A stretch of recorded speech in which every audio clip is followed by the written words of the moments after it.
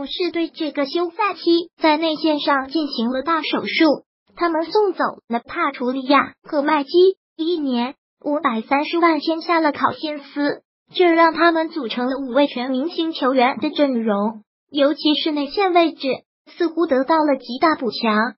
不过目前勇士却要面临一个严峻问题，那就是考辛斯跟腱撕裂，至少要缺席大半常规赛。这让勇士内线在常规赛期间其实是非常吃紧的。当然，勇士敢这么操作，自然有其底气。目前勇士队内除考辛斯外，其实还有内线，那就是上赛季的三十八顺位新秀乔达贝尔。上赛季贝尔场均十四分钟，三点二次出手，能得到四点六分、三点六篮板、一点八助攻，一盖帽。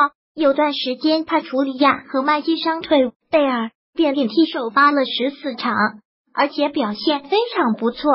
据勇士跟队记者 Mark Medine 透露，贝尔将在下赛季常规赛得到更多出场时间，甚至首发。勇士有意将他培养成下一个格林。勇士用贝尔首发，显然也有些无奈，毕竟走了两个内线，考辛斯又有伤。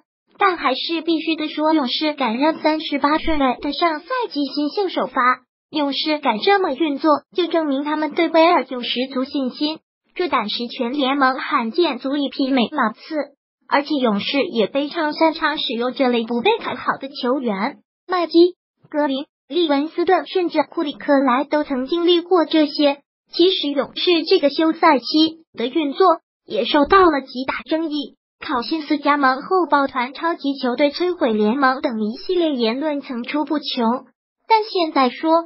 好的五巨头却变成了低顺位新秀首发，不得不说，我们真的有些误会勇士了。他们最可怕的并不是球星，而是任何人都敢用，任何人用了之后还都有效果。这种体系兼容性简直可怕。就算你把联盟打球最毒的人放到勇士，估计也能找到合适的定位，有所发挥。对此，不知道大家怎么看？本文来自生意中的商机。创业家系授权发布，略经编辑修改，版权归作者所有，内容仅代表作者独立观点。